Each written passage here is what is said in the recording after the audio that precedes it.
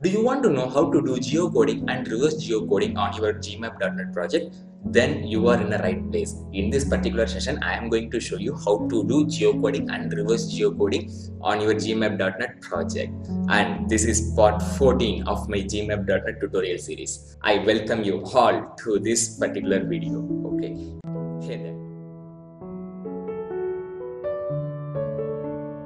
Hey there, I am Balaji and in this channel I post weekly videos on tips and tricks to enhance your C Sharp knowledge to apply it in a real-time project and sometimes I will also post videos on Python and Node.js. So if you are new to this channel, consider subscribing it. The idea for today video came from my community. The people like you suggested me to do a video on this particular topic. So even if you have any ideas for my upcoming videos, just let me know in the comment section okay so let's start. This is my existing gmap.net application. Before actually diving into the geocoding we will first run the application and then see whether it's working fine or not okay? I will just run it control f5 before that i will just clean the solution okay? Okay then. Control f5 okay. See nothing is loaded I will just go to my form load event handler. I will double click this thing and then see I am actually loading this particular place. Okay. I am loading Mysore in the map, but it is not actually loading that Mysore. Instead, it's showing that empty tiles. I will just I will uh, run it again. See, it is not showing anything. It is just displaying empty map. Okay. So first, I want to fix this problem the reason why this line is not working is we haven't added our map API key here. Okay, we want to add a API key in order to make this project work. Otherwise, most of the features of Gmap won't work. So I will add my API key here. Suppose if you don't know how to create and add this API key means, then I have created a separate video for that. Just check the video description in order to check the video before that. I'll just add this API key my API key is there in one of the class called app config app config.key here is my API key okay? Okay here is that app config file.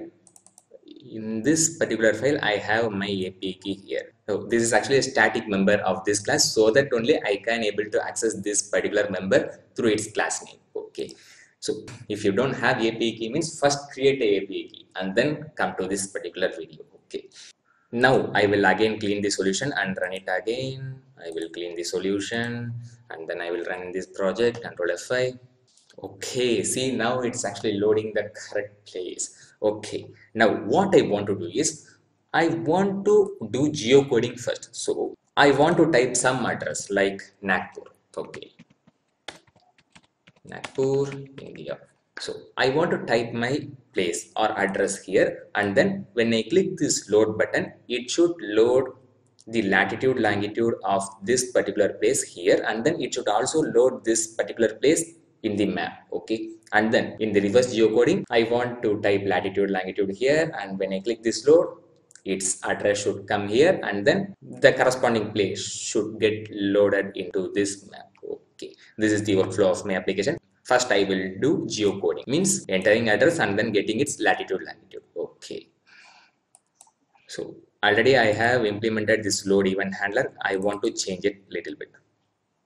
Here directly i am fetching its latitude and longitude. But before that we want to check whether there is anything present in that latitude longitude text box or not. For that i want to do if condition.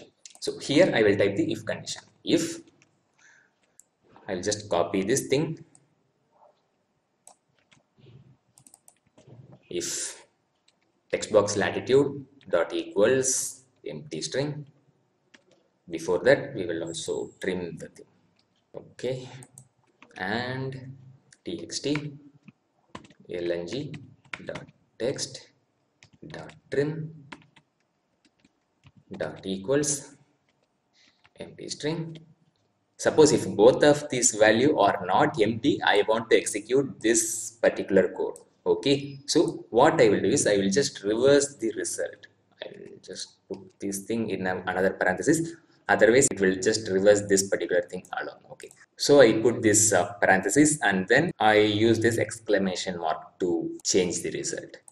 Suppose if both of these values are not empty we want to do what?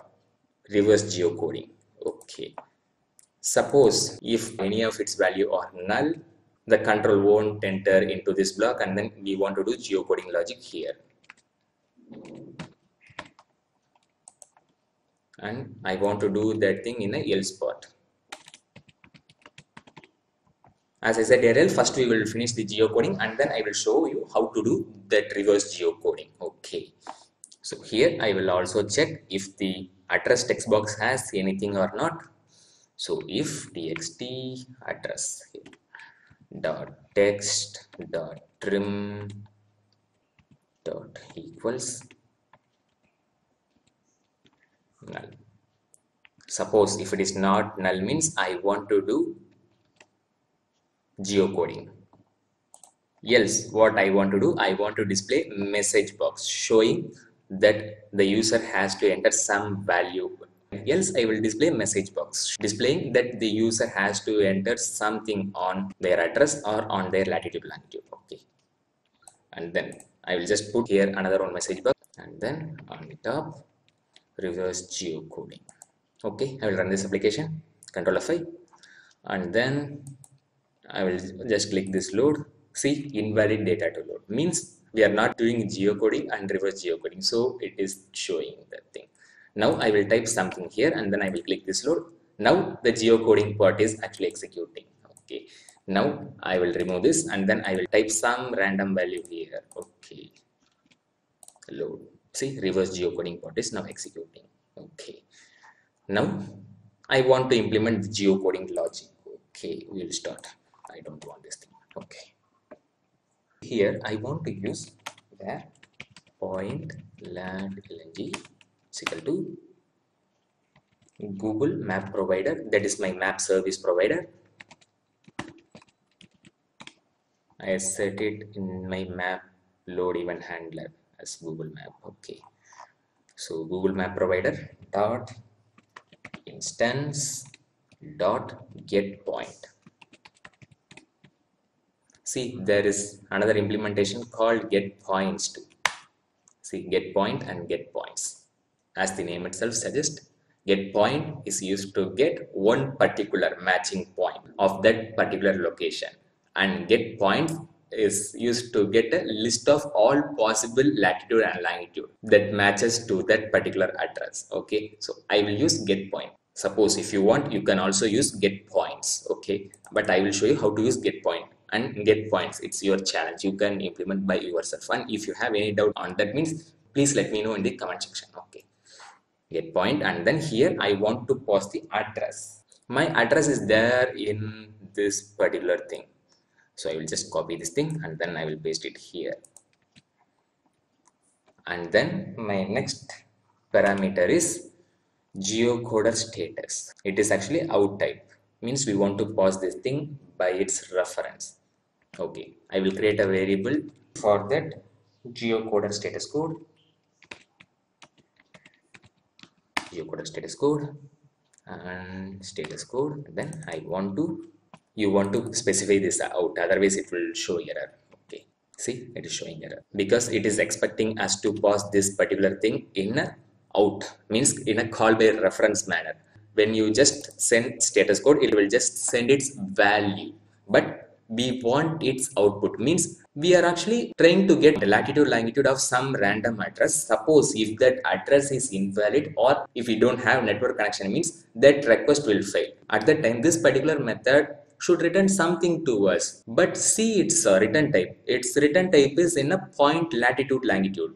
So it can't able to return some invalid data to that point latitude longitude. Okay? Because if there is no network means what data it can return? Nothing okay so at that time it needs to indicate that our request has failed. Okay so it will tell all the details using this status code here it is actually returning two things. As you know we can't able to return more than one value from method. So if we want to do so we want to use call by reference mechanism. So only here we are using that call by reference. Okay suppose if the request pass means it will return the corresponding latitude longitude to this variable and then it will return success status code here. Suppose if our request fail means it will return null here and then it will return some error message here in this status code. Okay so for that purpose only it needs out variable. Now i will just check if status code is equal to is equal to geo code status code dot see there are a lot of possible errors. Bad key bad request missing address. See there are a lot of possible errors. Now here if the request succeed means see its value it's 200 the http status code 200 implies that our request succeeds. Okay.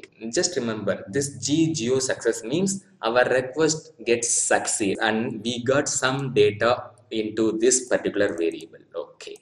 Now i want to do two things.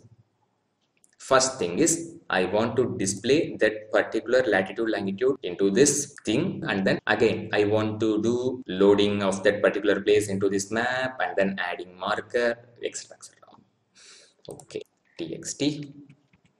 Lat dot text is equal to point lat dot latitude. Oh that's missing. What happens usually the point latitude longitude will have latitude and longitude as its parameter. But this particular thing don't have those things. See there is no property called lat or there is no property called lng means what is happening? Okay i'll just comment this line. And then i will just show you one thing. Where pt is equal to new point lat lng okay and then here i will pass some random value don't worry about this thing. Now what i will do is i will just do pt dot see here there is a property called lat and there's a property called lng to fetch this value and this value. But in our result there is no properties called lat and lng so that's because see the type of this variable. This is not actually point lat lng but it is the type of point lat lng question mark. Okay in order to explain this particular concept i will show you the type of point lat lng. I will just click this thing and then i will press f12 which helps us to move to the definition of point lat lng. See it is not a type of class it's a type of structure. Means it is not a reference type. It is a value type. Every structure is a value type okay? We can't able to pass null to the value type okay? Just in order to demonstrate that particular thing i will just use one thing. Int.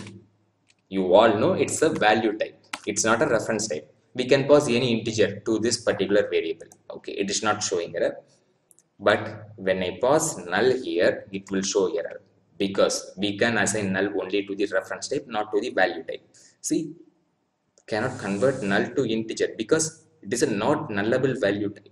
Okay not nullable value type. But here when our request fails it needs to return null to this point lat lng but since it's a value type we can't able to pass null. In order to solve this particular problem the solution is adding question mark after the type see i added a question mark after the int see that particular error has gone. Okay. Only here there exists the question mark after the type name. Okay. So in order to get its value we want to do one thing. Point lat lng question mark. Okay. Dot. Now see now all the properties are there. Lat lng all the corresponding properties of this particular structure are here okay i'll just choose lat and then I will convert this to a string and then I will store this particular result into the text box. The text box name is txt lat dot text. Okay, the similar thing I want to do for txt lng. So we'll do that thing too. txt lng and then instead of fetching latitude, I want to fetch longitude. Okay now what we want to do? We want to do this load map and then we want to do adding marker to that particular point. So what i will do is i will follow a shortcut. Instead of calling this particular functions again I can do one. I will call this function once again. I will do recursion I can do that by btn load I think so. Load into map. That's the name of the button. See btn load into map. Okay. Dot perform click. This will programmatically invoke a click again. Now it will check the latitude longitude again. That's not null. It has some value in it because we populated latitude longitude here and then we are performing button click programmatically. So it will load that particular place into the map and then it will also add a marker. Okay. Now we will check this particular process. Control f5 okay. Here I will type Nagpur India. Hmm, load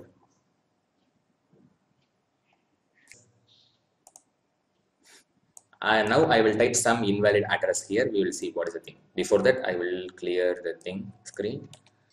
I will type some random value thing. Okay load. Nothing is happening because what is the problem? It is returning some error here. Okay this status code is not actually geo success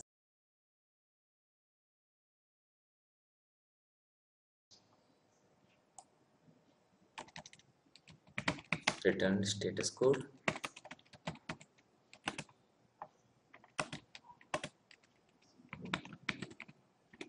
Now if we type some invalid data it will show the exact status code okay of that result. Now i will run this program once again. I will type some random address load. Okay something went wrong return status code unknown. Means it's an unknown address the result is unknown. Okay. Okay. Now our geocoding part is done. We want to do reverse geocoding. Okay. But i think we already did that reverse geocoding. I will just demonstrate you that thing. I will check this particular checkbox and then i click some random location. See its address is getting loaded here. Okay and then I will click another random location. See its address also getting loaded here because I implemented a logic on the map click event handler okay? I will just show you that particular thing. I will go to my map click here. I get latitude and longitude of the place where I clicked okay?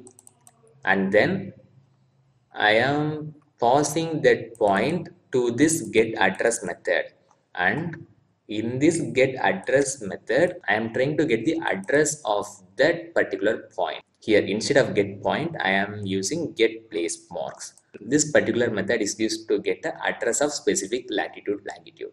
Okay. But see here I am not using a singular thing. I am using plural. Okay. Get place marks. Means here I will get more than one address from more generic to more specific I will just demonstrate you that thing. I will set a breakpoint here. Then I will run this program once again. Oh, I will start debugging mode. F5. Instead of control F5, I want to press F5.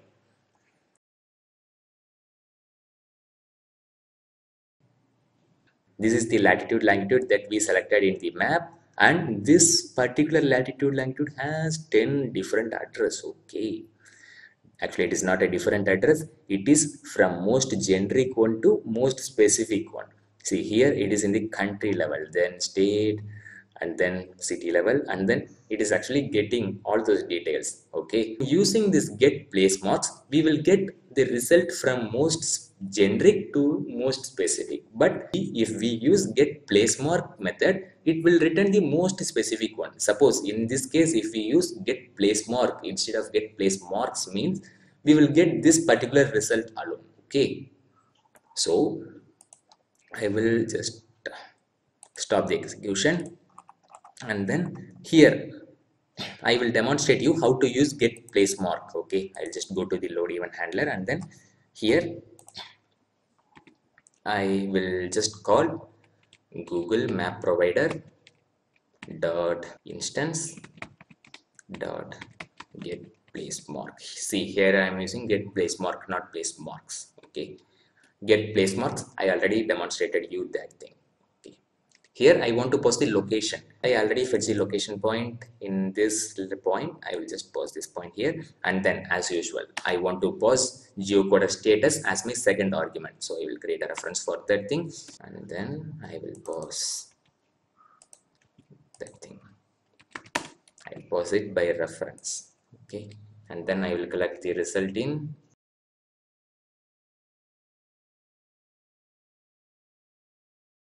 txt address dot text is equal to um, place mark dot oh, it is actually nullable type. So we want to use question mark. Dot address. If our request succeed we want to print its address. Else we want to print unable to load the address now i will run this program once again and then i will type some random location names. So i will type some bean point 2 here p point 2 some random location load.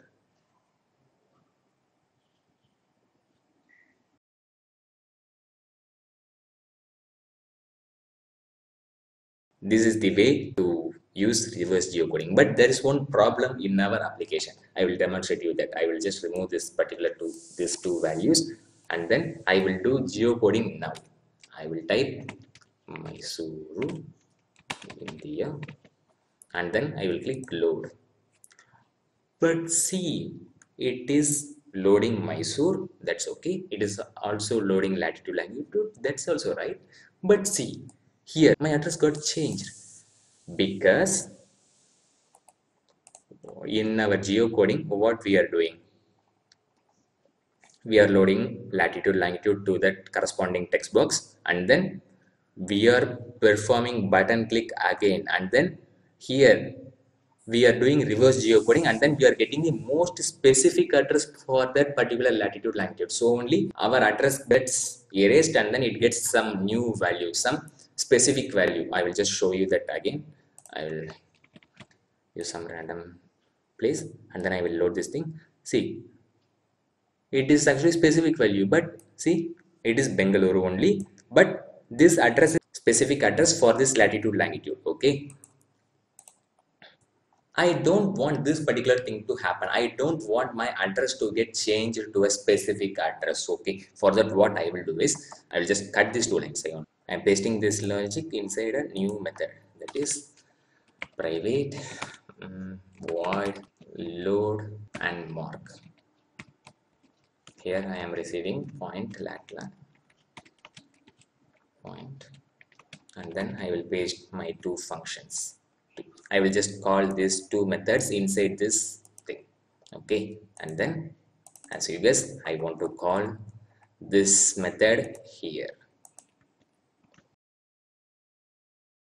And then I want to pause point.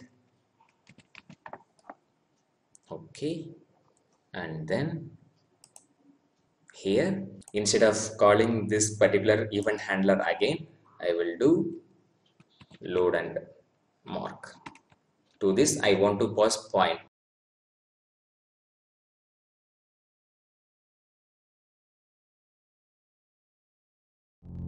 So that's all for today's session. If you have any queries please let me know in the comment section and I will try to answer you as soon as possible suppose if you want to ask me anything personally you can even mail me. meet you soon in the part 15 video. But you want to choose the topic for part 15 so please share your comments about what you are expecting me to teach in part 15 okay. So thank you and goodbye